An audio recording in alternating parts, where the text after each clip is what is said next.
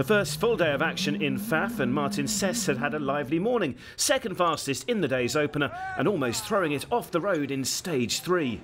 The Latvian youngster though battled back from 7th to 5th through the rest of the day.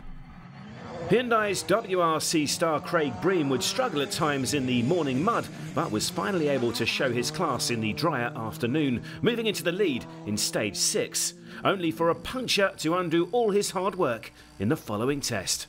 After a podium finish on Fafe's challenging stages last season, Georg Linnamäe would be hopeful of another strong start to the year.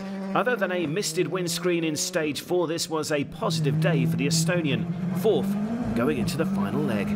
As a winner at WRC level, Hayden Paddon certainly has the pedigree to mount an ERC title bid this season. The 35 year old had sensibly opted for caution when needed, and the tactic proved fruitful into the podium places by the end of the day, and he passed the ailing Franceschi late on.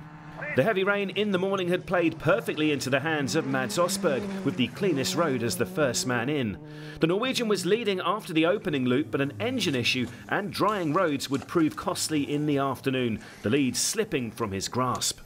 Mikko Heikkilä would survive the challenging conditions better than most, but even the reigning Finnish national champion had a couple of moments in his efforts to fight at the front.